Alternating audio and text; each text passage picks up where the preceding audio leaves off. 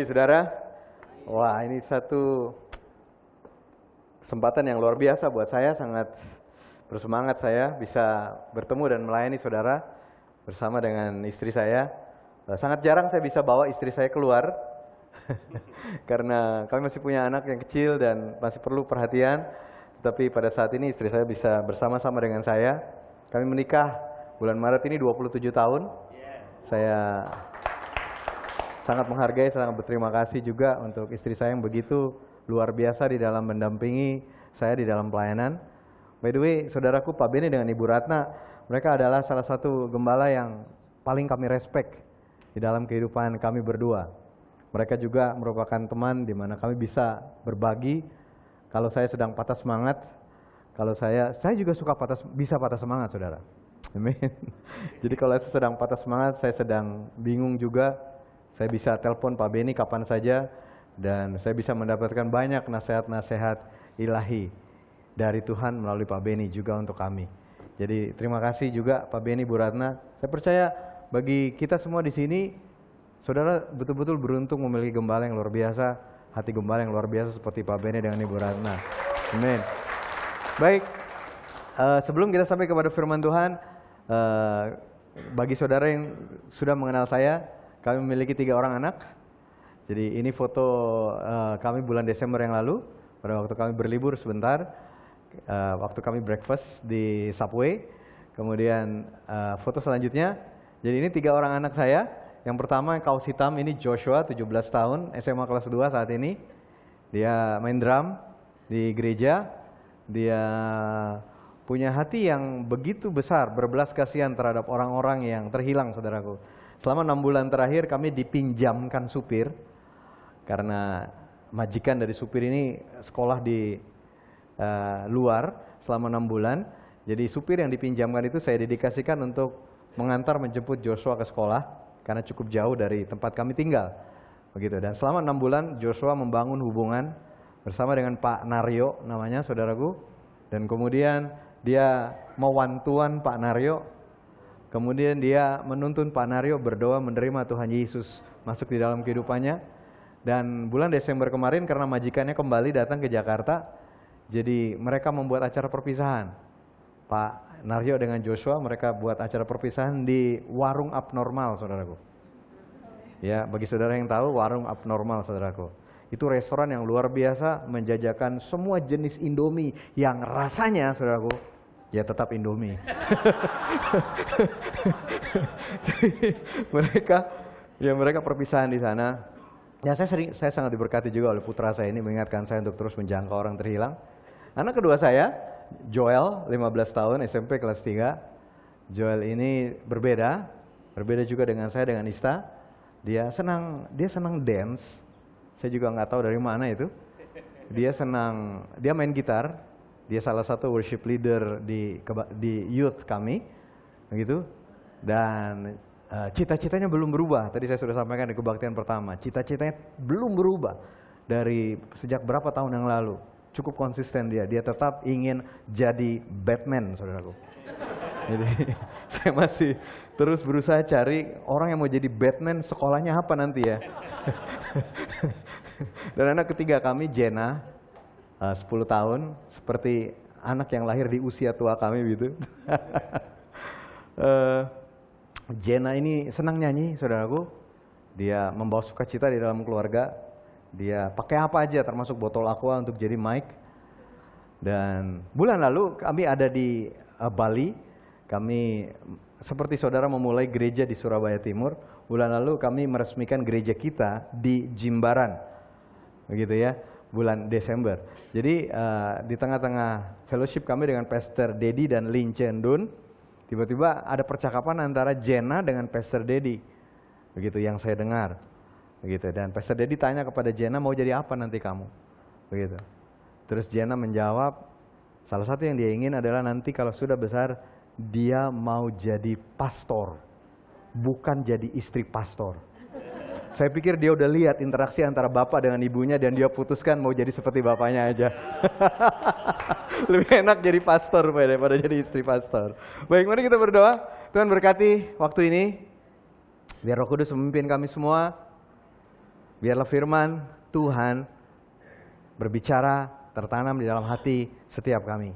Benih yang kekal yang dari Tuhan. Di dalam nama Tuhan Yesus. Amin. Amin. Hari ini saya mau melanjutkan apa yang kita sedang bicarakan, topik world view. Saudaraku, eh, cara pandang dari Alkitab. Dan saya ingin memulai dengan ini, problemnya. Problemnya adalah ada kompetisi antara world view dan world beliefs.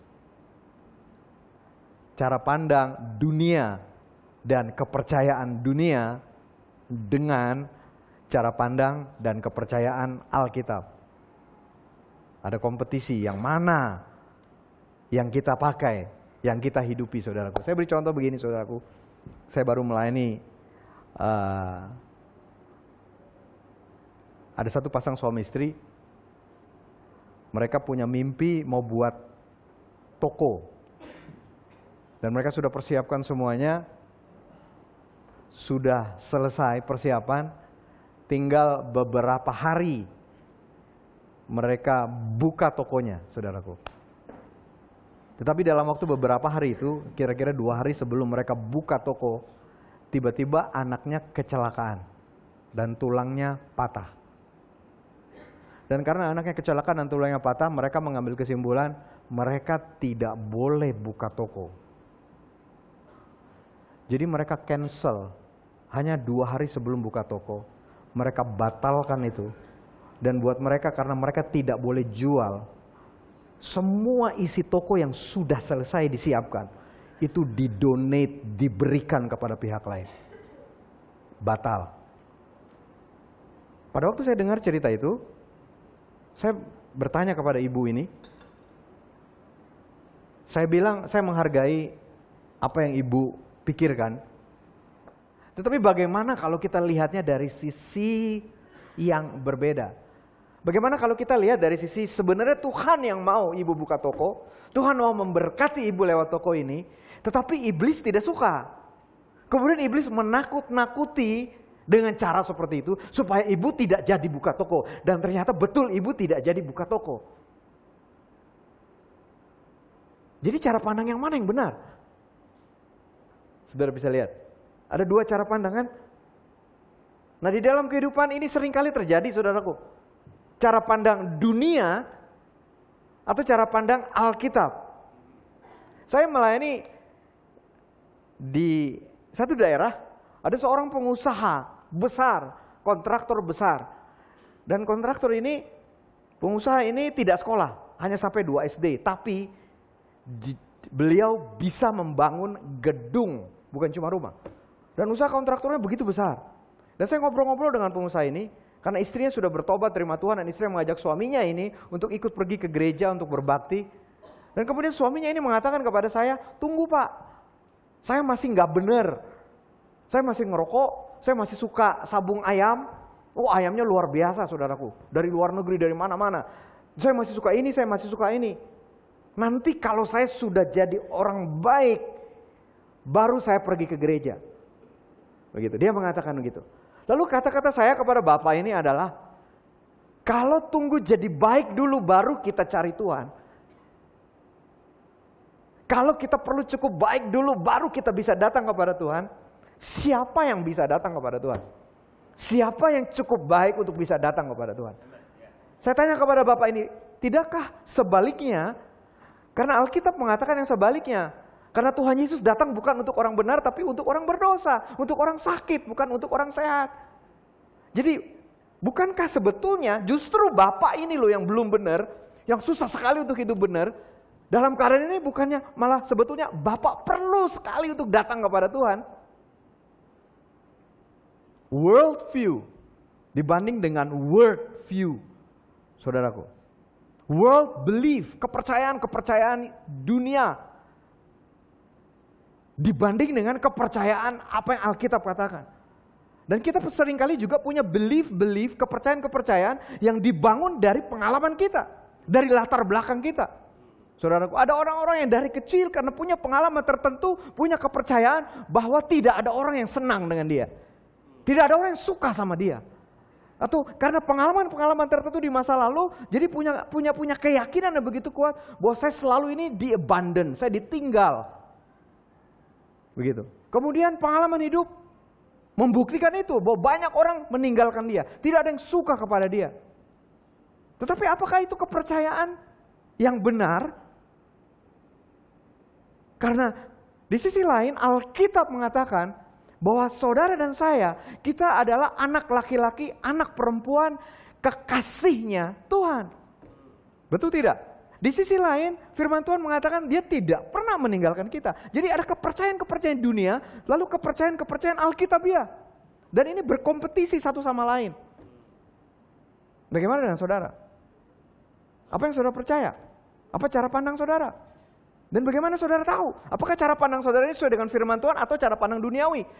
Apakah kepercayaan-kepercayaan saudara, beliefnya saudara ini, kepercayaan berdasarkan Alkitab atau kepercayaan yang sebenarnya salah?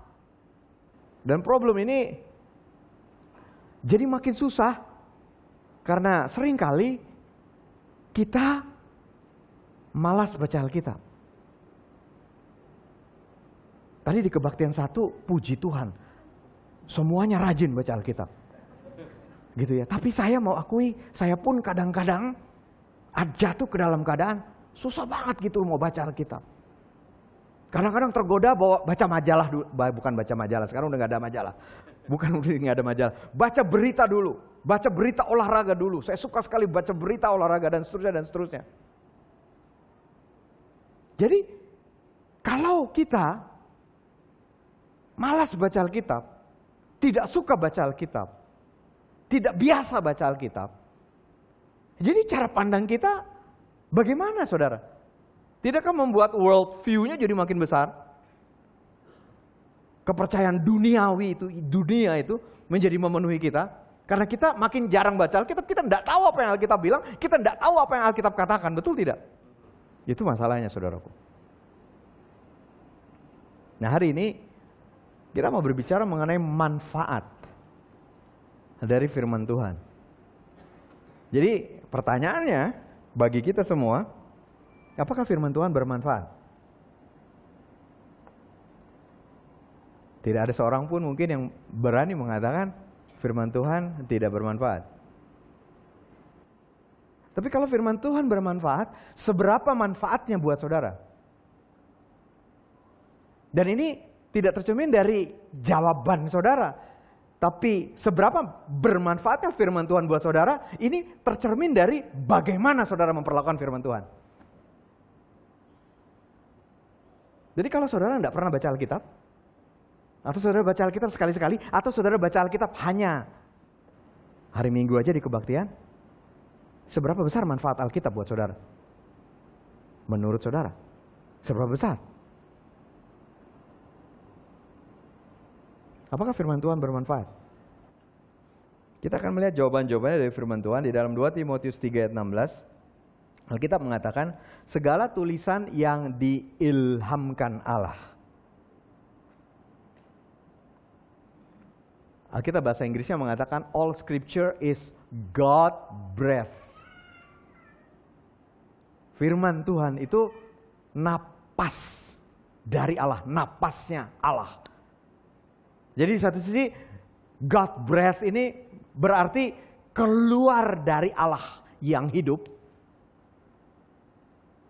Tetapi karena napas ini juga melambangkan kehidupan, juga berarti inilah kehidupannya Allah.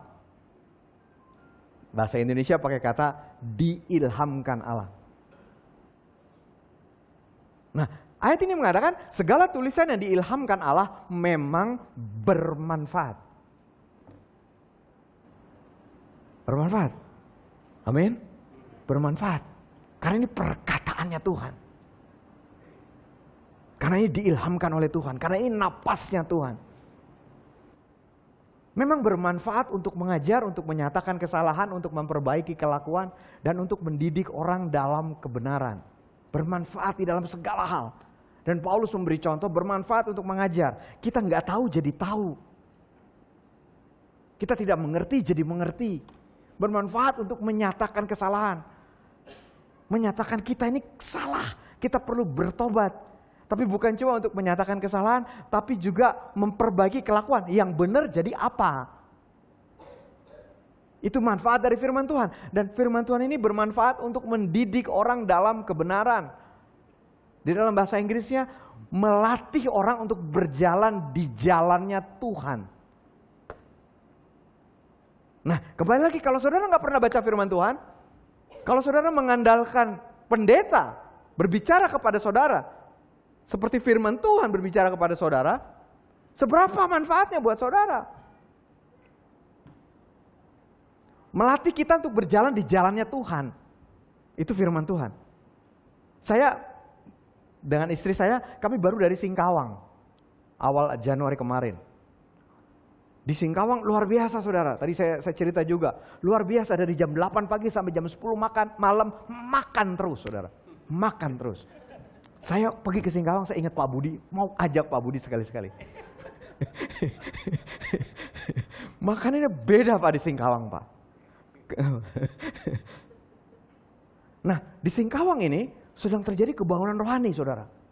Banyak orang-orang yang bertobat gitu. Tetapi di Singkawang juga latar belakangnya sangat sangat tepekong. Ya. Di Singkawang itu dari anak paling kecil sampai orang tua bicaranya bahasa yang saya nggak ngerti, saudara.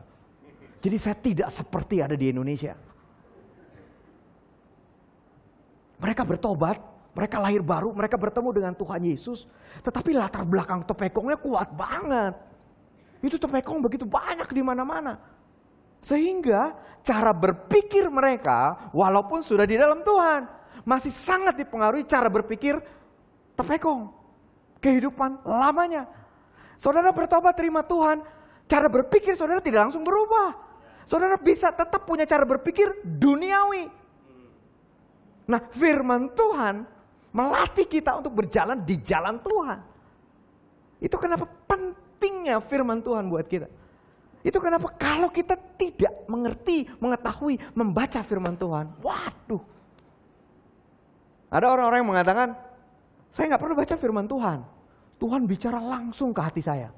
Nah, orang begini saudara, yang sangat dipengaruhi oleh latar belakang hidupnya. Betul. Sangat dipengaruhi oleh kehidupan masa lalunya. Betul Tuhan Yesus bisa bicara.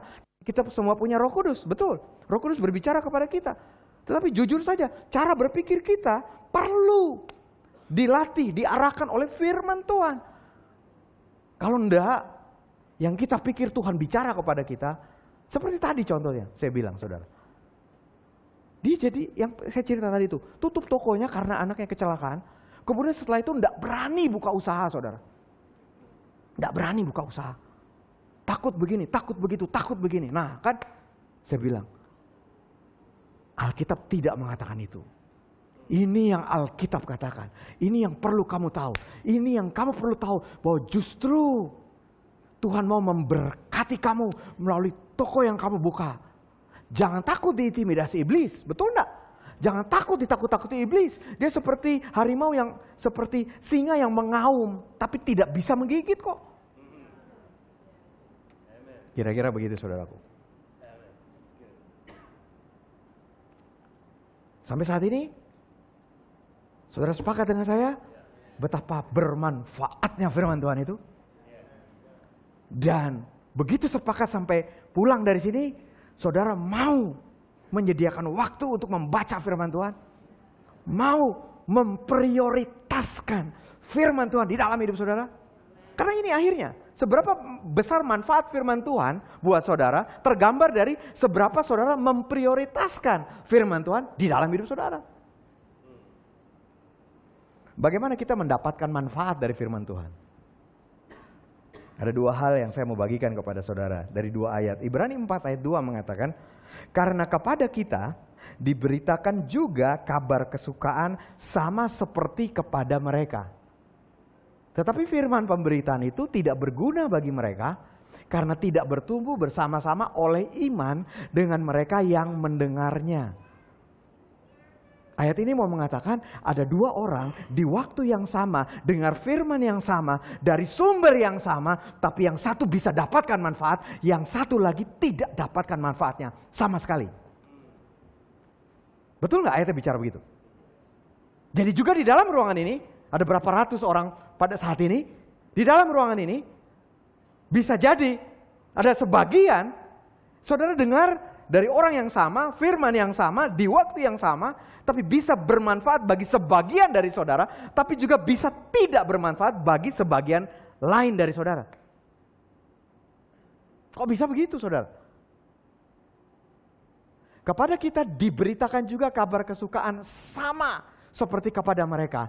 Tetapi firman pemberitaan itu tidak berguna bagi mereka karena tidak bertumbuh bersama-sama oleh iman dengan mereka yang mendengarnya.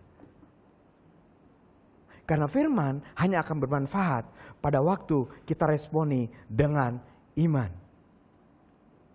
Dan iman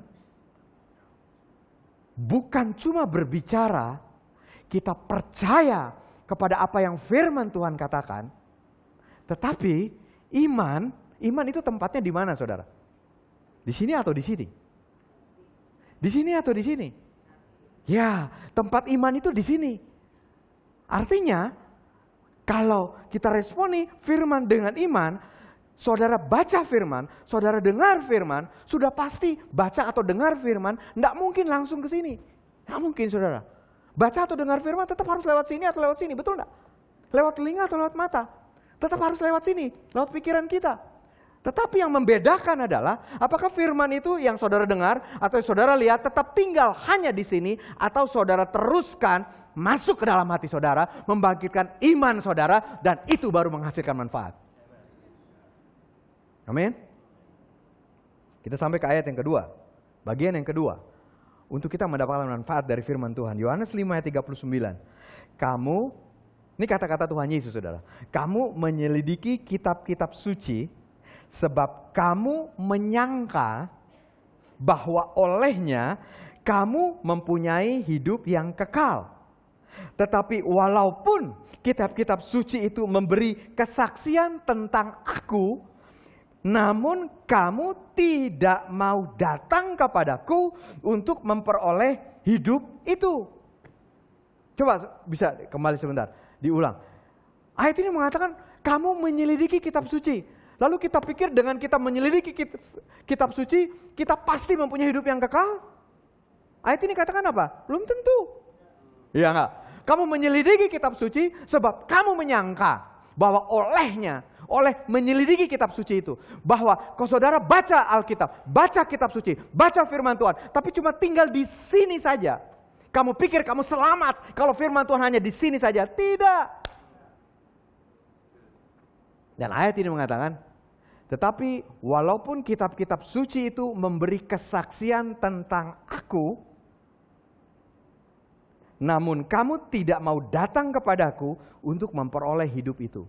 Dari kejadian sampai wahyu, ada 66 kitab. Setiap kitab atau semua kitab menuju, mengarah, mengarahkan ke kita kepada satu pribadi yang namanya Tuhan Yesus Kristus. Tuhan dan Juru Selamat hidup kita. Semua itu arahnya ke situ. Mau itu kejadian, mau itu pengkhotbah, mau itu amsal, mau itu wahyu. Semua kitab membawa kita kepada Tuhan Yesus. Jadi, ini dia. Untuk membuat firman Tuhan betul-betul bermanfaat buat kita. Bahasanya saya, saya mau katakan. Saudara perlu ketemu Tuhan dari firman Tuhan. Baca firman sampai saudara ketemu Tuhan di situ. Tuhan Yesus. Sampai saudara bertemu dengan Tuhan Yesus. Dan saudara bisa bertemu dengan Tuhan Yesus. Karena dua faktor. Yang pertama firman itu untuk hati, bukan untuk pikiran. Kalau untuk pikiran, tentu saja ada manfaatnya. Itu membuat saudara jadi STH, membuat saudara jadi MTH, membuat saudara jadi apa TH lagi saya tidak tahu. Dan itu bermanfaat. Tetapi itu harus masuk ke hati. Dan ketemu Tuhan melalui firman Tuhan. Karena Yohanes 6 mengatakan, perkataan-perkataan yang kukatakan kepadamu adalah roh dan hidup. roh dan hidup. Firman Tuhan itu roh dan hidup. Roh dan hidup. Saudara punya hubungan dengan Tuhan. Saudara akan menikmati manfaatnya pada waktu firman Tuhan itu turun ke dalam hati saudara. Praktisnya. Apa yang harus kita lakukan? Sebentar, sebelum sampai kepada praktis apa yang harus kita lakukan? Setujukah saudara bahwa saudara perlu memprioritaskan firman Tuhan dalam hidup saudara? Setujukah saudara bahwa saudara perlu baca Alkitab setiap hari? Dan bagi saudara yang tidak biasa, ya lakukan saja secara konsisten selama tadi saya diingatkan istri saya tiga minggu atau satu bulan, paksa aja. Setelah tiga minggu, setelah satu bulan, saudara akan mencintai firman itu. Saudara akan biasa membaca firman Tuhan. Jangan berhenti. Ingat apa manfaatnya. Jadi kalau ini cuma buku doang, udah pasti saudara jadi bosan. Tapi untuk membuat ini bukan cuma buku doang, pastikan saudara baca, masuk sini, tapi turun ke bawah. Itu baru bukan cuma buku doang. Dan secara praktis, bagaimana membuat itu bisa betul-betul turun dari sini ke sini? Yeskiel 3 ayat 3 mengatakan, lalu firman Tuhan kepada Nabi Yeskiel, lalu firmannya kepadaku, hai anak manusia, makanlah gulungan kitab yang kuberikan ini kepadamu dan isilah perutmu dengan itu. Lalu aku memakannya dan rasanya manis seperti madu dalam mulutku. Dan ayat-ayat yang mirip dengan itu saudaraku ada di dalam Mazmur. Daud juga mengekspresikannya seperti itu. Saya mau baca buat saudara. Mazmur 119 ayat 103. Tidak ada di sini. Betapa manisnya janjimu itu bagi langit-langitku.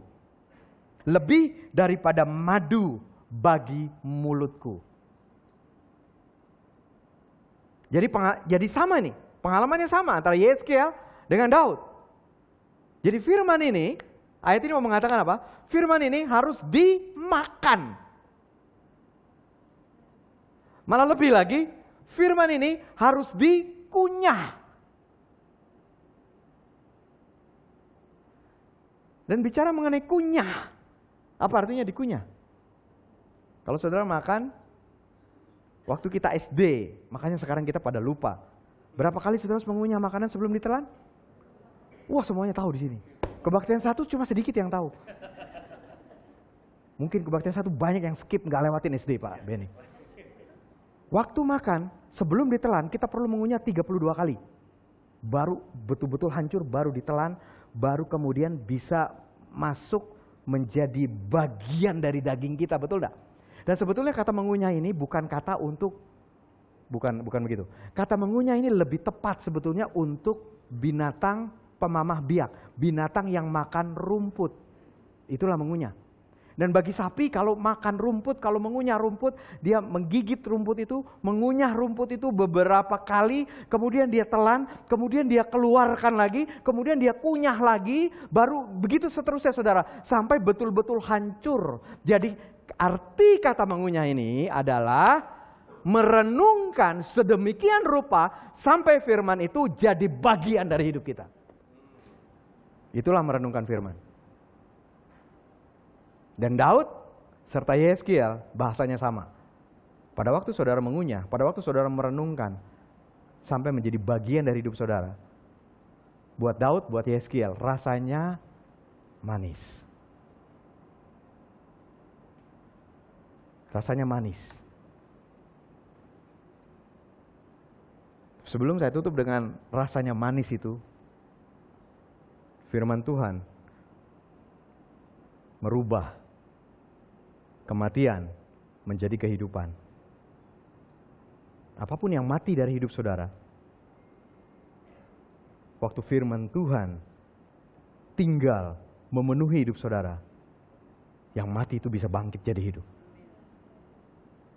Bicara mengenai mimpi saudara, masa depan saudara, apa pun juga. Firman Tuhan merubah yang mati jadi hidup. Firman Tuhan merubah yang berdosa menjadi benar. Firman Tuhan merubah kehidupan yang gelap menjadi terang. Amin. Firman Tuhan merubah kekalahan menjadi kemenangan. Tidak peduli saudara kalah berapa kali, tidak peduli saudara kalah berapa lama. Tapi sepanjang firman Tuhan memenuhi hidup saudara, menjadi paradigma pikiran saudara, cara pandang saudara, menjadi kepercayaan saudara. Seberapapun saudara kalah, seberapa lama pun saudara kalah, kekalahan akan menjadi kemenangan karena firman Tuhan. Dan rasa malu menjadi kehidupan yang penuh dengan anugerah di dalam kehidupan saudara. Dan ayat yang terakhir Yohanes 8, 31 32. Maka katanya kepada orang-orang Yahudi yang percaya kepadanya, Jikalau kamu, jikalau kamu tetap dalam firmanku. Bahasa Inggrisnya di sini katakan abide in my word. Tinggal di dalam firman. Bahasa Inggris yang lain katakan taat kepada firman. Bahasa Inggris yang lain katakan melekat kepada firman, melekat. Jadi firman ini ada kata mengunyah, tapi ada kata melekat seperti lem, nempel gitu loh. Jikalau kamu tetap di dalam firmanku, kamu benar-benar adalah muridku. Dan kamu akan mengetahui kebenaran. Dan kebenaran itu akan memerdekakan kamu. Terjemahan The Message-nya mengatakan, selanjutnya. If you stick with this, stick kepada firman Tuhan, living out what I tell you, you are my disciples for sure. Tapi kemudian, then you will experience for yourselves the truth. Pada waktu saudara tinggal di dalam firman, saudara akan mengalami buat diri saudara sendiri kebenaran firman itu. Dan kebenaran itu akan memerdekakan saudara. Itu kenapa manis rasanya. Mari kita berdoa. Biar kami tinggal di dalam firman-Mu Tuhan. Biar kami bersedia dirubah. Dalam cara berpikir kami, cara memandang segala sesuatu, bahkan apa yang kami percaya, biar kami bersedia untuk dirubah oleh firman. Isi kami Tuhan, isi hidup kami dengan kebenaran firman. Biar kami semua menjalani tahun 2018 di dalam firman. Di dalam nama Tuhan Yesus.